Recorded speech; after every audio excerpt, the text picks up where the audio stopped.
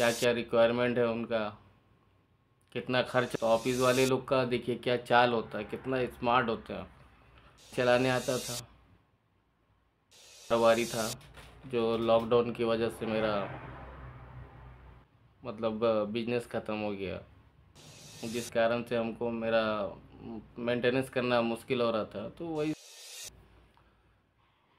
अस्सलाम वालेकुम दोस्तों। आप लोग कैसे हैं? उम्मीद करते हैं अच्छे होंगे। आज का वीडियो जो है, मैं इंडिया से सऊदी अरबिया कैसे आया, कितना खर्च लगा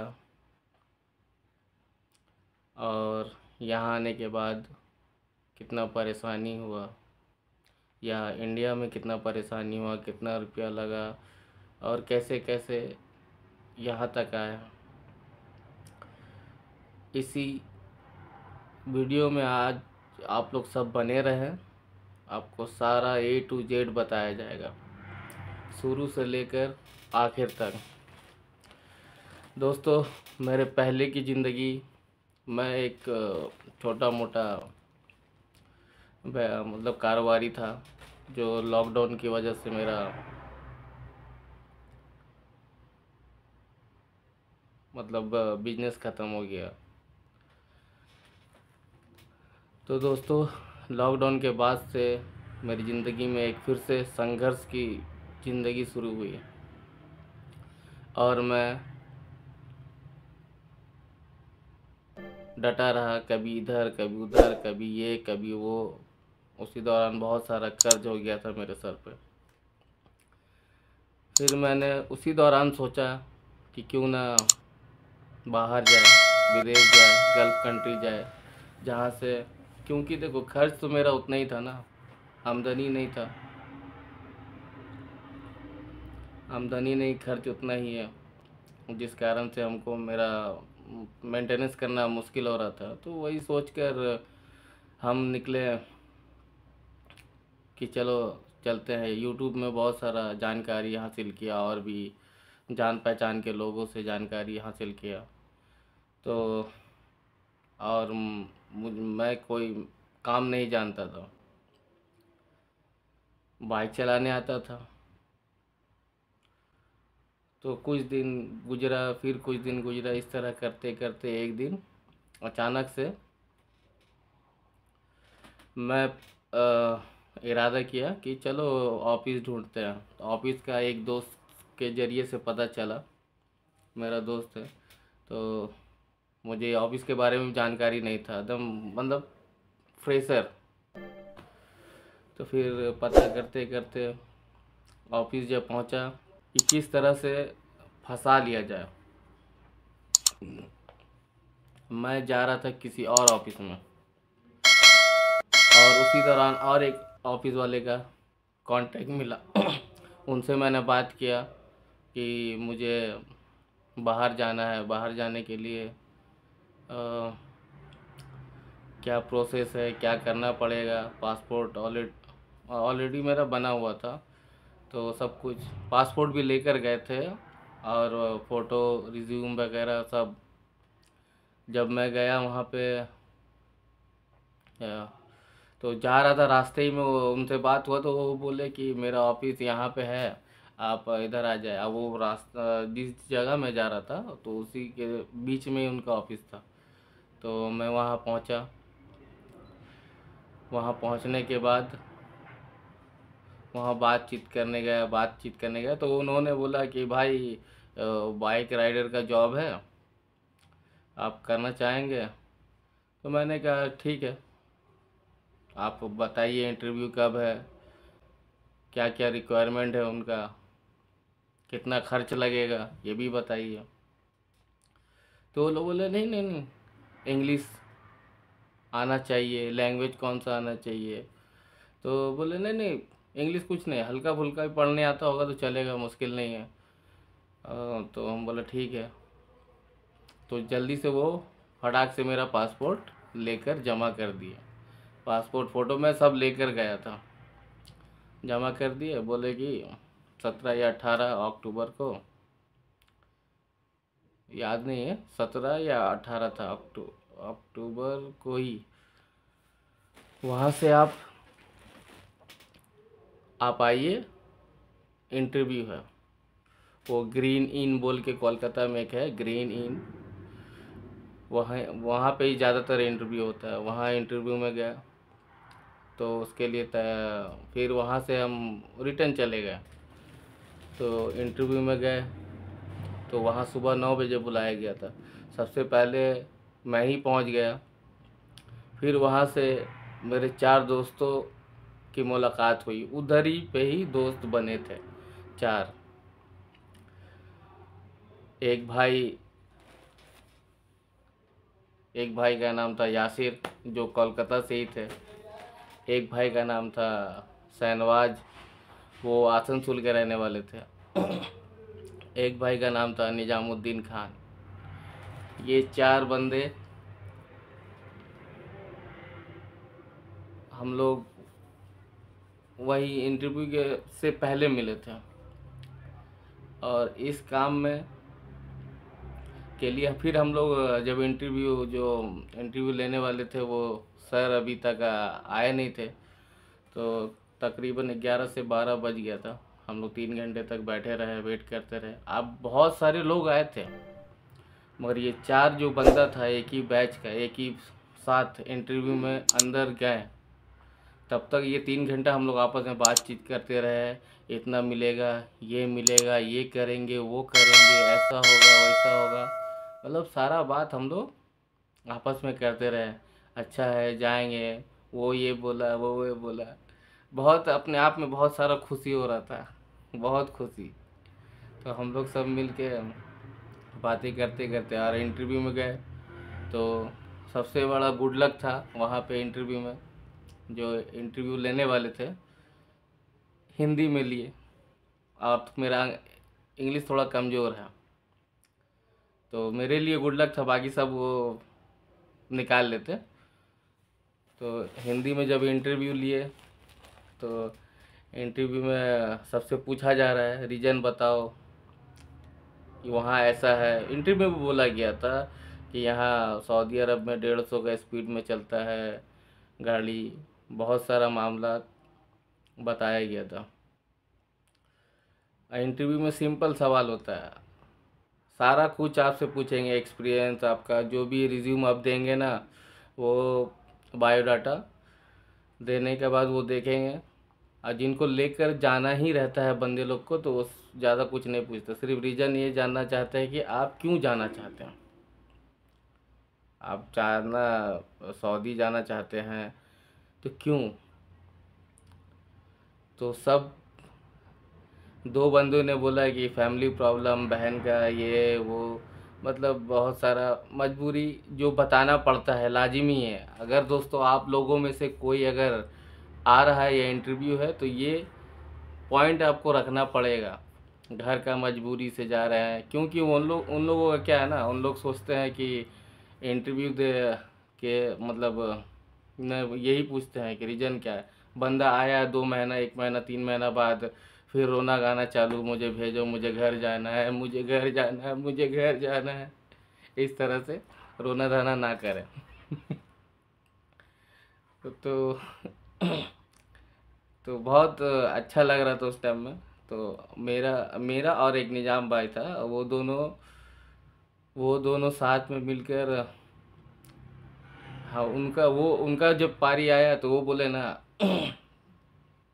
कि मेरा कारण है कि ये मेरा मतलब जाने का मेन पैसा, कारण है ना बाइक चलाना मेरा पैसन है, मेरा शौक़ है। और मैं भी बोला यही बात। मैं भी बोला, सर, मेरा बाइक चलाना पैसन है और मेरा इस लाइन में तीन चार साल का एक्सपीरियंस है। ये भी बात बताया मैंने। तो तो उससे हम दोनों अटक गए थे। ये बात बोलने के बाद हम दोनों अटक गए थे। फिर भी हम लोगों को चांस दिया गया। तो पूछा गया दोबारा कि आप क्यों जाना चाहते हैं? तो फिर लास्ट में कुछ समझ में नहीं आया। समझ में आ ही नहीं रहा था क्या बोलना है। फ़र्स्ट टाइम था, पहली बार आया तो मैंने मज़ा अपने अपने आप में खुद से मज़ाक से मैंने बोला, अगर मैं सऊदी नहीं जाऊँगा तो बीवी मायके चली मायके चली जाएगी। ये मज़ाक से ही मैं मैं मन में था, मगर उनको लगा कि सीरियस बोल रहा। और निज़ाम भाई भी था, वो भी कुछ बोला। ये बोलना पड़ता है, जिस कारण से उनको थोड़ा तो फिर हम चारों का सिलेक्शन हुआ। वहाँ पे आए थे पचास साठ बंदे। तो हम चारों का पासपोर्ट ले लिया गया वीज़ा के लिए। वीज़ा या आगे का प्रोसेस के लिए। पासपोर्ट लेने के बाद एक दिन, दूसरा दिन फ़ोन आता है कि आप लोग मेडिकल करा लीजिए। आपका मौका बनेगा मेडिकल कराने जाइए अब दोस्तों मेडिकल इतना महँगा हो गया था। मैंने जब मैं मेडिकल कराया था तो छः हज़ार छः सौ मतलब सात हज़ार पड़ गया था। आने जाने का किराया और खाना पीना जो भी सारा दिन का बर्बाद हुआ था। तो वहाँ हम लोग सुबह गए, और चार दोस्त था तो चारों का, दो का एक जगह लगा था, और एक एक जो था, उसका बन चुका था। शहनवाज भाई जो थे उनका अ, मतलब वो पहले से ही ट्राई कर रहे थे। हम लोगों से पहले से ही ट्राई कर तो उनका तीन महीना वैलिड था। उनका जो एक मेडिकल था ना वैलिड था। और हम गए हम मेरा अकेला पड़ा। कोलकाता में एक बांगूर बोल के है। उस जगह में बांगूर मेडिकल सेंटर गमका मेडिकल सेंटर तो वहाँ गए। वहाँ जाने के बाद बहुत टफ था कि आपका मेडिकल पास होगा, नहीं होगा, क्या बीमारी, जबकि कुछ है नहीं। वहाँ जाने के बाद वहाँ जाके दो दो डाब पी लिए थे, मधु खा लिए थे। हाँ दोस्तों, मधु तो याद है। अगर कोई भाई का कोई बीमारी नहीं है, सिगरेट पीते हैं या गांजा वंजा पीते हैं तो जो नशा करते हैं तो मेडिकल से दो चार दिन, पाँच दिन पहले ये सब बंद कर दें। और सिगरेट वगैरह पीते भी हैं तो आप बंद कर देंगे तो ज़्यादा अच्छा रहेगा मेडिकल में, क्योंकि आपका सात हज़ार रुपया बर्बाद हो जाएगा। अब मेडिकल कराने से पहले अगर डाउट है कि मुझे कोई बीमारी है तो आप लोग उसको क्या कीजिए ना, एक नॉर्मल मेडिकल करा लीजिए। नॉर्मल करा लीजिएगा ना, मैं कराया था, इसलिए मैं मैं भी बेफिक्र था, फिर भी एक टेंशन होता है ना भाई, सात हज़ार रुपया, फिर वहाँ एजेंट जो लिया है, वो डूब जाएगा। जिस कारण से तो आप लोग करा लेंगे तो बेहतर होगा। तो मधु भी पी सकते हैं, डाब पी लेंगे तो ज़्यादा अच्छा है। उससे थोड़ा जो भी धुआँ रहता है ना, सीने में साफ़ हो जाता है। दो दो दिन, तीन दिन पहले से डाब पीना चालू कर देंगे फिर मेडिकल कराया, दोस्तों मेडिकल कराने गया तो वहाँ चेकअप हुआ। जैसे कि ब्लड एक जगह अंदर में ना दो तीन चार पाँच कमरा रहता है जिसमें किसी में ब्लड चेक होता है, किसी में फ़ोटो होता है। और वो हम लोगों का तो वो सब नहीं हुआ था यूरि- यूरियन और ये सब नहीं हुआ था, ब्लड और सीना का ही हुआ था। तो वहाँ से ही सब कुछ हो गया, मेडिकल हो गया। मेडिकल में इतना धांधली होता है दोस्तों मेडिकल के बाहर वो दलाल लोग खड़ा रहता है, वो आपका जो स्लिप देगा ना, पेमेंट स्लिप, वो स्लिप को आप लोग कभी भी एजेंट मांगेगा, आएगा आपके सामने, आके बोलेगा, देखिए किसका है किसका है, क्या है, क्या अगर दे दिए तो गया आपका, पाँच छः हज़ार और खर्च हो जाएगा, देना नहीं। अंदर में ही वो, अंदर में डॉक्टर लोगों का जो टीम होता है ना, वो वो जो भी उनका हेल्पर होता है तो वो आपको पहले ही बोलेंगे ये इसको ये कागज़ को जेब के अंदर रखो। तो वहीं समझ जाना कि जेब में रखने बोला जा रहा है तो कुछ ना कुछ गड़बड़ हो सकता है। वहाँ सवाल जवाब नहीं करना, जेब में रखने बोला, रख लेना। रखने के बाद तो बाहर निकलोगे, वो टोकेगा आपको तो वहाँ से निकल जाना। फिर वहाँ से हम लोग निकल गए। निकल के चले आए घर पे। ऑनलाइन मेडिकल का रिज़ल्ट कब आएगा कब आएगा कब आएगा? टेंशन, पचास बार फ़ोन, इसको, उसको, बहुत बेचैनी हो रहा था। मेडिकल आया, जिसमें से मेरा फिट आया, शहनवाज भाई का फिट आया, यासिर का फिट आया। निज़ाम भाई का अनफिट आ गया, क्योंकि ठंड का समय था तो निज़ाम भाई में थोड़ा सा हल्का सीना का तरफ़ में ये दिखा रहा था। उनको फिर दस पंद्रह दिन का बाद बुलाया गया। तो निज़ाम भाई जो थे, दस पंद्रह दिन बाद वो गए। वो दवा ववा खा हो के गए तो उनका भी फिट आ गया।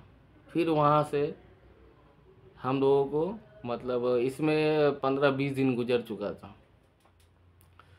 तो प्रोसेस लगता है। अब एजेंट वहाँ से मेडिकल हो गया है तो अब एजेंट वहाँ से पेमेंट दो पेमेंट दो। पेमेंट कराइए पेमेंट कराइए, ये कराइए। दोस्तों, कभी भी शुरू में एक हज़ार से ज़्यादा या पाँच हज़ार से ज़्यादा एजेंट को नहीं देना। ये लोग बोलते हैं, काम प्रोसेस कराएँगे, आगे कराएँगे, नहीं जाएँगे तो ये होगा, वो होगा, पैसा घटेगा। कंपनी, देखिए, जो कंपनी बुलाता है ना दोस्तों, अरबों खरबों का यहाँ पे सेटअप करके रखता है। तो वो लोग इस तरह से नहीं बुलाता है। आपका, आप पैसा देंगे, आपका पैसा से नहीं बुलाता ये। आपका जो पैसा होता है ना, ये पैसा एजेंट लोग का जेब में जाता है। वो एजेंट लोग का जैसे कि होटल बुक होता है क्लाइंट जो आता है, क्लाइंट के लिए रूम बुक होता है, ये सब में खर्च होता है। तो वो लोग, आप लोग का पैसा लेकर ही आप गए या नहीं गए? आप लोग से पैसा ले गए, इस सबको पेमेंट करेगा। अपना ऑफ़िस या भाड़ा, ये, वो, बहुत सारे ऑफ़िस का किराया देना। तो एजेंट लोग जो है उनके वहाँ से आपका पैसा एक हज़ार देना या पाँच हज़ार देना, इससे ज़्यादा शुरू में नहीं देना। जब तक टिकट आपका नहीं हाथ में मिलता है ऐसा मत दीजिएगा दोस्तों। समझे ना? बहुत सारा भाई लोग कमेंट करते हैं कि पूरा बात बताइए एजेंट का नाम बताइए। अरे हम ये वीडियो बना के डाल रहे हैं तो क्या हम अपने ऊपर मुसीबत लेना चाहते हैं क्या?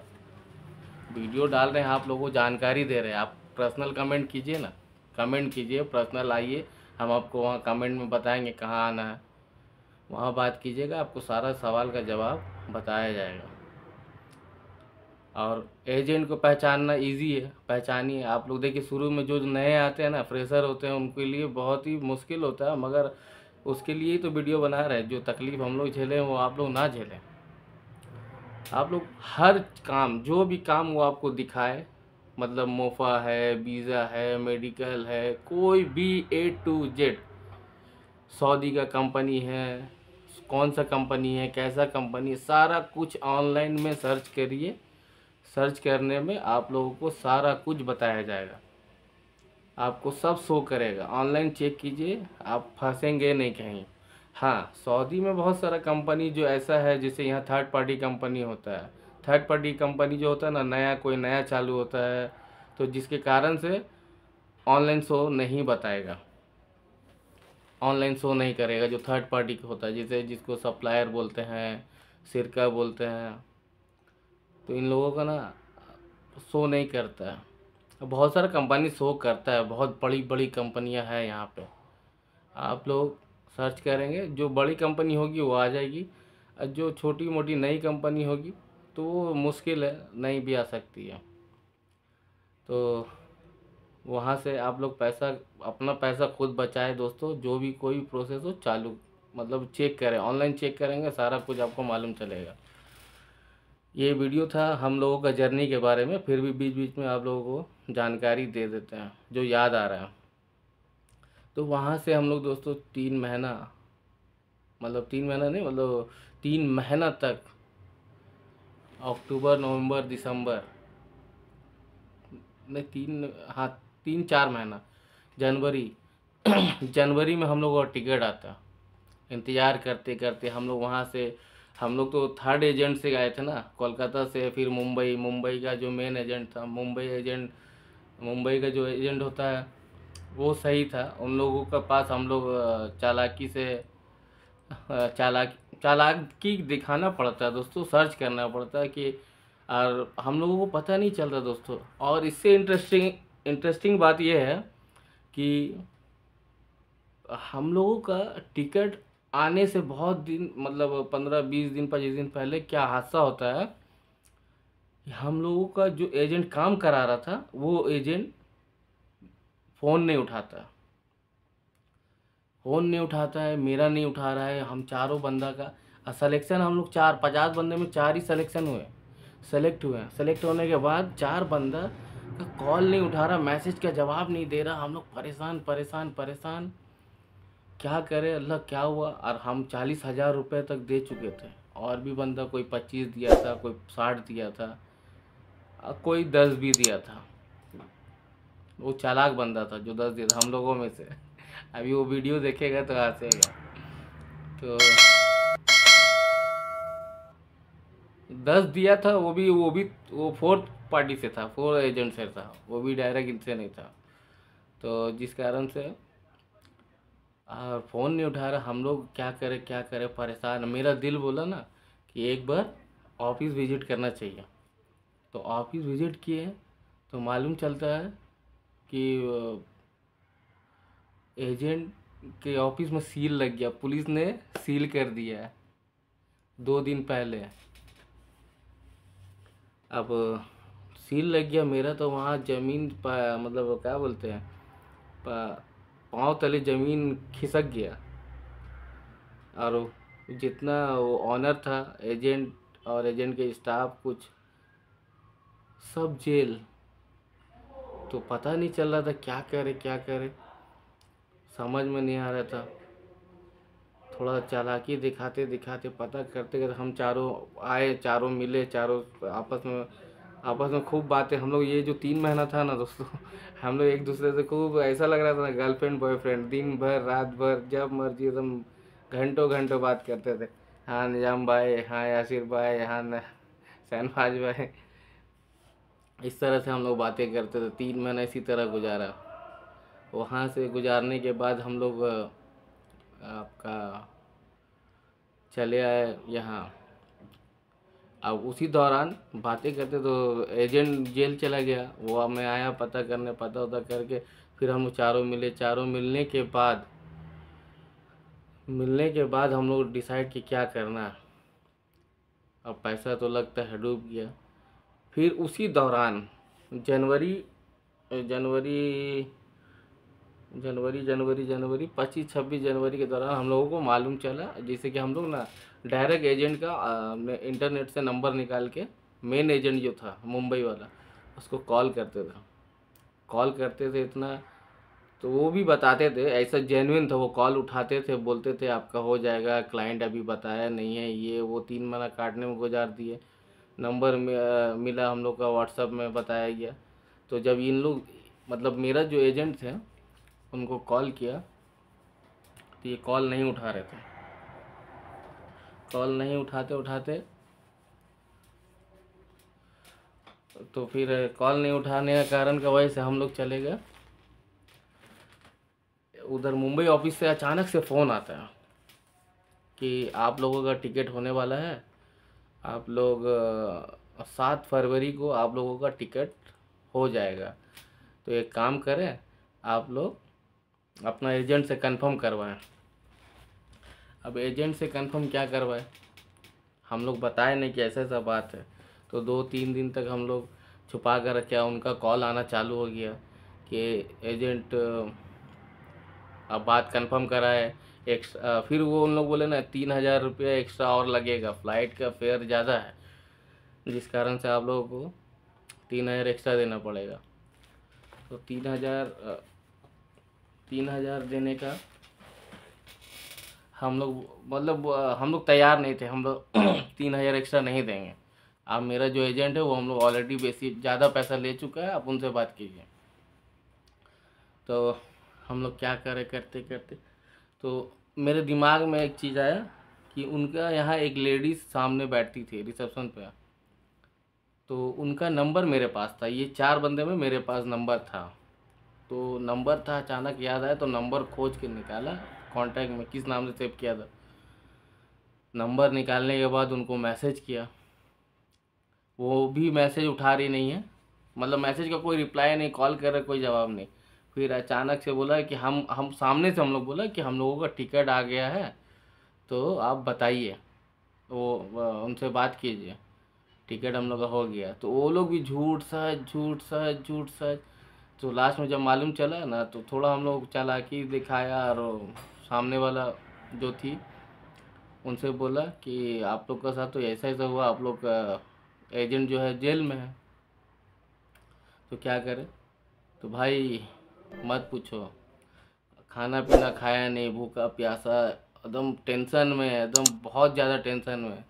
चालीस हज़ार रुपया डूब जाता। है तो वहाँ से पता करते करते करते कोलकाता में एक अलीपुर जेल है। तो अलीपुर जेल में था, अलीपुर जेल हम लोग पहुँचे। हम हम लोग नहीं, सिर्फ़ मैं पहुँचा। अलीपुर जेल गया, वहाँ जाने के बाद जेल में देखा कि वो जो फ़ोन नहीं उठा रही थी, उनका असिस्टेंट जो थी रिसेप्शन में बैठने वाली, वो लोग भी पहुँची हुई है। फ़ोन नहीं उठा रही, मेरा फ़ोन हमको देख ली वो, हमको देख के ना मुँह घुमा ली। और मैं पहचाना है, मगर फिर अचानक से नज़र पड़ा ना ये पहचान गया मैं।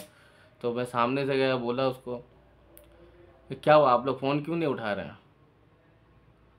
तो फिर मैं, मुझसे बहुत सारा बहाना करने लगी, ये, वो वो। तो फिर मैं उनसे मिला, फिर मैं भी बोला कि मैं मिलूँगा एजेंट से अंदर। तो भाई पैसा कर दिया इसलिए जेल के अंदर भी गए उनसे मिलने के लिए। वो फॉर्म भर के जो विजिटिंग वाला होता है ना, उसी तरह से गए, जाके मिले। बात तो हो नहीं पाया, सिर्फ़ सलाम और दुआ करके चले आए। चले आए, चले आने के बाद फिर ये जो थी बाहर इनसे ही कांटेक्ट किया गया इनके ही थ्रू क्योंकि ये चालीस खा चुकी थी। इन लोग खा चुके थे। इनको देना था चालीस। जो डील इन लोग का होता है आपस में। अस्सी में हमारा डील फाइनल हुआ था और मिला जुला के डेढ़ लाख का खर्च बैठा था। तो ये डेढ़ लाख का पूरा खर्च बैठा था जिस कारण से फिर हम लोग वहाँ से आए। टिकट हाथ में हम लोग को टिकट का ये भेजा गया। पीडीएफ भेजा गया। पीडीएफ हम लोग डाउनलोड किए। डाउनलोड करने के बाद फिर हम लोग चारों मिल के राय किए कि कैसे जाना है, मुंबई जाना है। तो कोलकाता से हम लोग शालीमार से हम लोग मुंबई का टिकट मिला थ्री एसी का। उसमें बैठ कर हम लोग मुंबई आए। मुंबई आए तो सुबह सुबह वहाँ उतरे। सुबह उतरने के बाद हम लोग सबसे पहले ऑफ़िस ही जाना था, मगर हम लोग चले गए हाजी अली दरगाह, जिसका आप लोग वीडियो देखे भी होंगे, नहीं देखे तो जाके देख लीजिएगा। हाजी अली दरगाह गए तो वहीं से शुरू किए थे कि अब थोड़ा सा ये सब जो परेशानी हम लोग झेले हैं ना तो आस्ते धीरे करके जो मेरा भाई लोग, जो नादान है, ना समझ है, फ्रेशर है, ये वीडियो उनके लिए है। उन लोग देखे आप वीडियो अगर पूरा देखेंगे तो समझ में आएगा कैसे कैसे क्या होता है। नहीं समझ में आएगा, कमेंट कीजिएगा, हम ज़रूर बताएँगे, जब आपको ज़रूर बताएँगे, जो भी पूछना होगा, जितना मुझसे हो सकेगा। तो वहाँ से हाजी अली गए, वहाँ थोड़ा इधर उधर समुंदर के पास घूम फिर कर हम लोग वहाँ से ऑफ़िस चले गए। ऑफ़िस गए हम लोग ग्यारह बजे। ग्यारह बजे जो गए, अब देखिए यहाँ अलग सरदर्दी। ग्यारह बजे से बैठे बैठे बैठे बैठे, अब होगा, अब टिकट मिलेगा हाथ में। सात तारीख के दिन की बात है। और सात तारीख को करीबन करीबन हम लोगों का फ़्लाइट था ढाई बजे रात में, इंडिया से। ढाई बजे रात में फ़्लाइट था।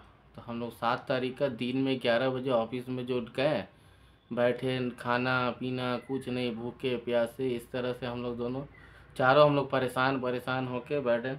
अब वहाँ पैसा का बात आ रहा है। पैसा का बात आ रहा है कि इतना दो, ये दो, वहाँ और भी बहुत सारे जो बंदे हम हम लोगों के बैच में लगभग सत्ताईस बंदे थे। तो सत्ताईस बंदे में हम लोग चार यहाँ से थे। तो चारों हम लोग बैठे बैठे बैठे बैठे। रात का आठ बज गया। ऑफ़िस बंद हो गया। फिर भी हम लोगों को अटका दिया गया कि आप लोग पैसा दीजिए पूरा तो ले जाइए। मतलब ज़्यादा पैसा मांगा जा रहा था। फिर भी हम लोगों ने तीन हज़ार जो एक्स्ट्रा का तो नहीं दिया, मगर वो चालीस हज़ार पूरा जो बैलेंस था, वो दे दिया। सभी ने दे दिया। देने के बाद वहाँ से हम लोग निकले। निकलने के बाद हम लोग आ गए। ट्रेन पकड़े लोकल ट्रेन बहुत परेशानी होता है भाई।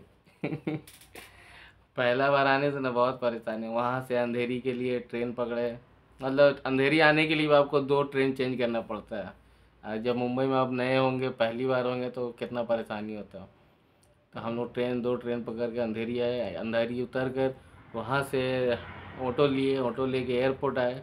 एयरपोर्ट आने के बाद अपना जो बोर्डिंग हुआ, बोर्डिंग होने के बाद इमिग्रेशन हुआ इमिग्रेशन होने के बाद हम लोग अंदर गए फ़्लाइट में बैठे। और तीन, चार दिन से ना हम लोग सोए नहीं थे। इतना नींद आ रहा था, इतना नींद आ रहा था। आज जैसे फ़्लाइट उड़ा एकदम एक झटका इस तरह लगा एकदम आँख बंद। आँख बंद होता है पक्का अढ़ाई घंटे के बाद। जो हम लोग टिकट में लिखा था, अढ़ाई घंटे में मतलब वहाँ से दिखता है कि अढ़ाई घंटे में अढ़ाई घंटे में पाँच घंटा लगता है।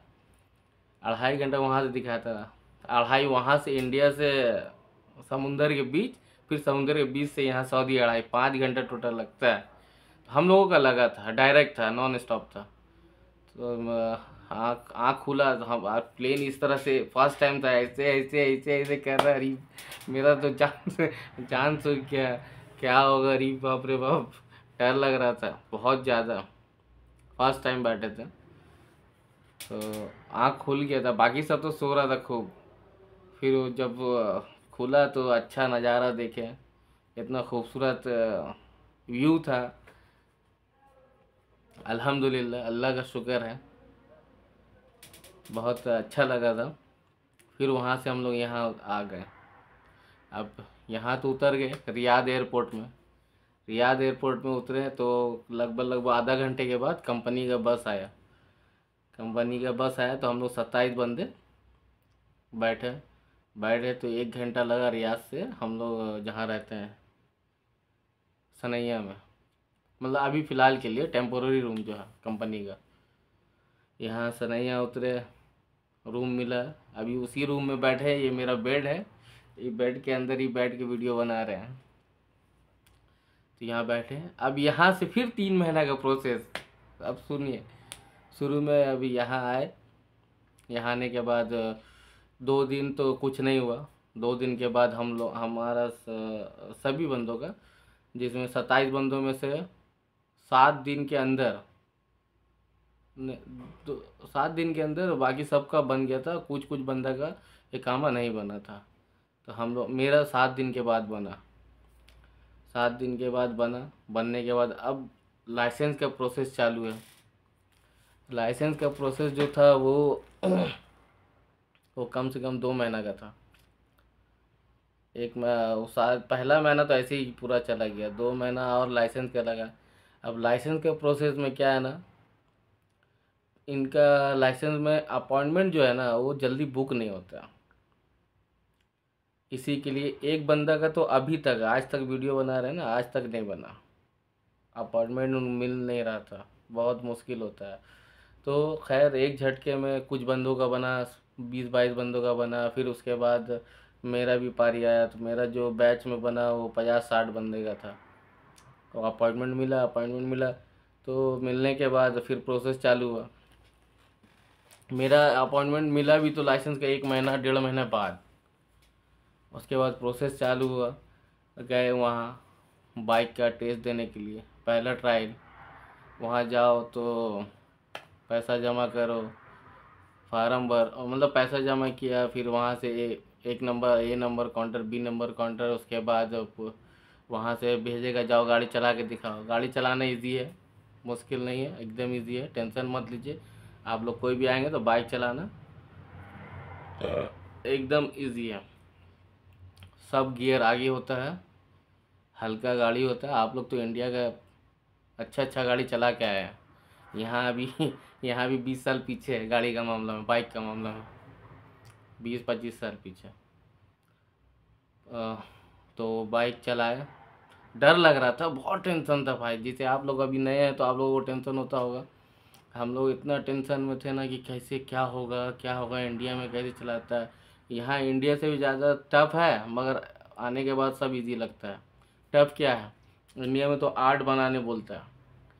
आर्ट बनाएँगे, पास। डायरेक्ट यहाँ पे आर्ट नहीं बनाना आपको। आपको जिस तरह से वहाँ समझ लीजिए कि एक चार चक्का जाने लायक इतना बड़ा रास्ता होता है, चार चक्का आराम से चला जाएगा। फोर व्हीलर का साइज़ का रास्ता होगा। उसी रास्ते में आपको पी बी से बाइक चलाना है, जहाँ जहाँ एरो बना होगा, तीर का निशान बना होगा, आपको वहीं वहीं घुमाना है। बस यही है। और कुछ नहीं। पहला टेस्ट में। तो एरो जैसे जैसे बना अब एरो का हिसाब से आप चले गए अब एरो जैसे जैसे ये बना के ऐसे घुमा के मतलब बड़ा सा जगह रहता है। आपको यहाँ से शुरू करना पड़ता है, ऐसे ऐसे ऐसे ऐसे ऐसे करके आप एरो का हिसाब चलते चलते चलते लास्ट में आप वहाँ घूर कर चले आएँगे, फिर वहीं जहाँ से स्टार्ट किए। तो वहाँ गाड़ी लगाना है, लगा के उतर जाना है। उतरेंगे और जो ऑफिसर होगा, जो खड़ा, वो आपका एकामा नंबर पूछेगा। एकामा नंबर दीजिएगा खल्ली बल्ली हो गया। फिर वहाँ जाएँगे तो आपको फिर पुलिस पुलिस वेरिफिकेशन कराना पड़ता है। फिर आपको, आप जैसे कि टेस्ट देने के बाद जब जाएँगे ना तो आपका कंप्यूटर क्लास होगा। दो दिन क्लास चलेगा एक एक घंटा का। क्लास में आपको बताया जाएगा नियम, कानून कैसे चलाना है, क्या चलाना है। वो एक एलईडी टीवी में चलाकर आपको दिखाएँगे, आप देखिएगा, सीखिएगा, फिर एग्ज़ाम आएगा। एग्ज़ाम आएगा, आप एग्ज़ाम याद कर लीजिएगा। इस मैटर पे आप पर्सनल मैसेज कीजिएगा तो बता देंगे, क्योंकि कुछ गाइडलाइन होता है, उसको फॉलो करना ज़रूरी होता है, नहीं तो मुश्किल होगा। एग्ज़ाम है, पढ़िए, लिखिएगा, उसमें से एग्ज़ाम पढ़ने के बाद आप अपना जाएँगे, कंप्यूटर का जब आपका एग्ज़ाम चलेगा, वहाँ पास कीजिएगा। चालीस सवाल में से शायद आपको तीस या बीस सवाल सही बत्तीस सवाल सही देना जवाब। तो देने के बाद आप पास हो जाएँगे तो फिर फाइनल टेस्ट होगा। फाइनल टेस्ट में दोस्तों यहाँ पे ना, देखिए, फ़र्स्ट टेस्ट में नया, गाड़ी कंडीशन में नया मिलता है। फाइनल टेस्ट में क्या है ना, आपका सेल्फ ख़राब होगा। और हॉर्न नहीं लगेगा किक नहीं लगेगा किक पाँच किक छः किक दस किक पंद्रह किक मारेंगे तब स्टार्ट होगा। ठीक है वो अब अब किस्मत के ऊपर आपको कौन सा गाड़ी मिला? फाइनल टेस्ट में ऐसा होता है तो याद रखिएगा किक से स्टार्ट कीजिएगा अच्छा रहेगा। अरे यहाँ के लोग अच्छे रहते हैं एक मौका देते हैं अगर फे, फेल नहीं करते हैं मौका देंगे उसके बाद पास कर देंगे।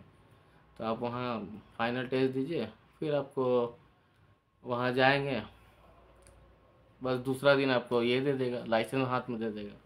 हम लोगों का इसी तरह से लगभग लगभग तीन महीना लग गया था, यहाँ पे हम लोगों को लाइसेंस हाथ में मिलते मिलते।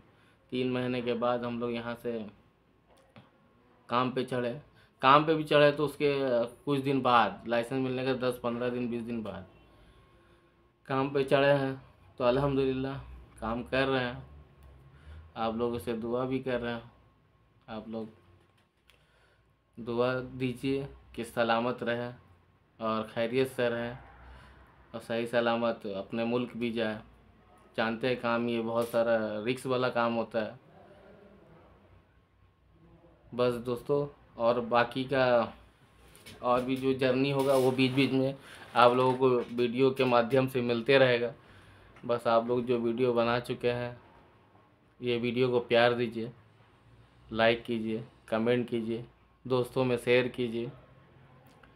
नए लोग जो आने चाहते हैं, उनको शेयर कीजिए कि कुछ मेरे वीडियो से मोटिवेट होंगे। इन तो दोस्तों, आज के लिए बस इतना ही। अस्सलाम वालेकुम